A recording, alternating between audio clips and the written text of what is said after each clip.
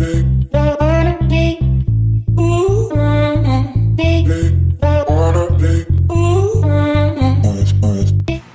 guys, what's up? Ang sarap ng ulam namin ngayon. Inihaw na chicken with talong. Alright.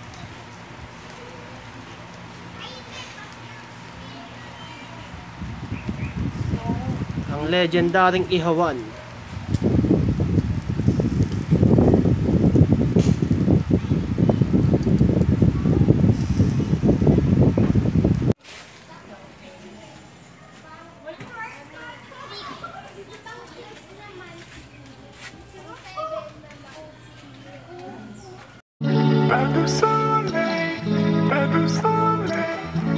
About the sun, baby, baby, about the sun.